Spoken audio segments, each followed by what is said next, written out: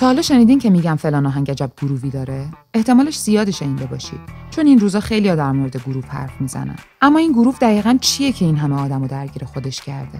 راستش این کلمه می‌تونه با توجه به موضوعی که توش مطرح میشه معناهای مختلفی به خودش بگیره. ولی اگه بخوایم خیلی تعریف محور پیش بریم می‌تونیم به زور به این جمله برسیم که گروه اون چیزیه که تو ذهن و بدن ما به ریتم معنا میده.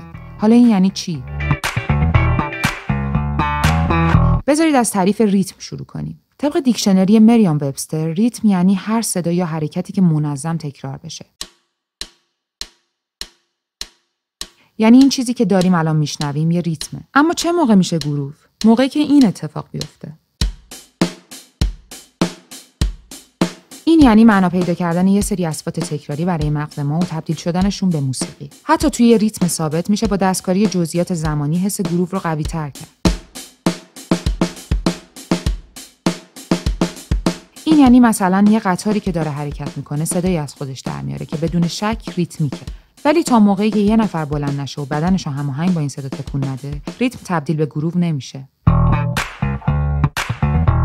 دقیقا از همینجا وارد میشیم به معنی عام گروه که خیلی بیشتر از اون تعریف نیم بند اولی مورد استفاده است. تو این معنی گروه همون چیزیه که شما رو موقع شنیدن یه قطعه موسیقی به حرکت در میاره. هر چقدر این خاصیت شدیدتر باشه آهنگمون اصطلاحا گروهی تره یعنی گروه با اینکه شاید تو نگاه اول فقط سازه ریتمیک مثل درامز رو تو ذهنمون تداعی کنه اما در عمل یه مفهومی فراتر از این حرفاست هر عنصری که ما رو وادار کنه موقع شنیدن فقط شنونده نباشیم و یه تکونی هم به خودمون بدیم عملا داره حس گروه رو انتقال میده. این عنصر ممکنه برخواسته از یک ساز ریتمیک نباشه.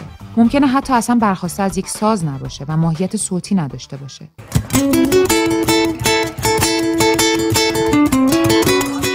مثلا تو این ویدیو حتی دیدن میمیک صورت نوازنده هم یکی از اجزای گروهه و بدون اینکه ساز کوبه‌ای در کار باشه کمر مخاطب رو بیقرار می‌کنه. به اعتقاد خیلی یا کلا حس گروه در صورتی به شنونده منتقل میشه که نوازنده یا نوازنده ها موقع ضبط یا اجرای قطعه خودشون در حد اعلا تجربهش کرده باشن.